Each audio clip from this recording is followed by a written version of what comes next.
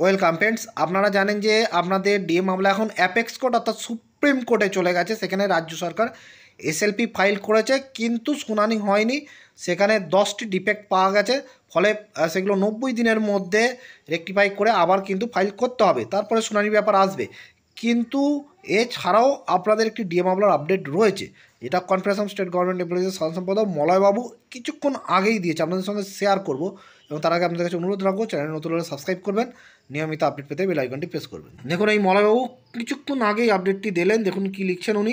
আগামী নয় নভেম্বর বুধবার, চার নম্বর রুমে দুপুর দুটোর কলকাতা হাইকোর্টে বিচারপতি মাননীয় হরিশ টান্ডন এবং মাননীয় রবীন্দ্রনাথ সামন্তের ডিভিশন বেঞ্চে ডিএ আদালত অবমাননার, অর্থাৎ কন্টেম মামলাটি উঠছে।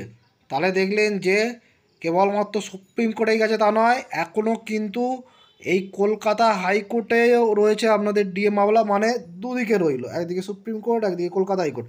এখানে কিন্তু কন্টেম মামলাটি শেষ হয়ে যায়নি। কন্টেম মামলাটির শুনানি কিন্তু নয় নভেম্বর আছে এবং সেটি দুপুর দুটো সময় আছে। এই যে বিচারপতি দ্বয় আছেন, মাননীয় হরিশ টান্ডন এবং মাননীয় রবীন্দ্রনাথ সামন্তের বেঞ্চে। রাজ্য সরকার আগের যে রায় ছিল কলকাতা হাইকোর্টে তার বিরুদ্ধে এসএলপি ফাইল করেছে ঠিকই, কিন্তু যে কন্টেম কেসটা রয়েছে, সেটা তো এখনও লাইভ রয়েছে।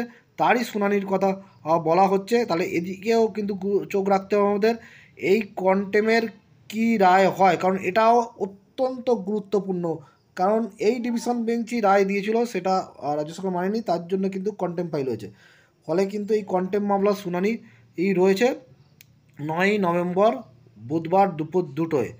মনে রাখবেন, যখনই আপডেট আসবে, দ্রুত আপনাদের সঙ্গে শেয়ার করার চেষ্টা করব। সেই জন্য চ্যানেলটি অবশ্যই সাবস্ক্রাইব করে রাখবেন। ধন্যবাদ।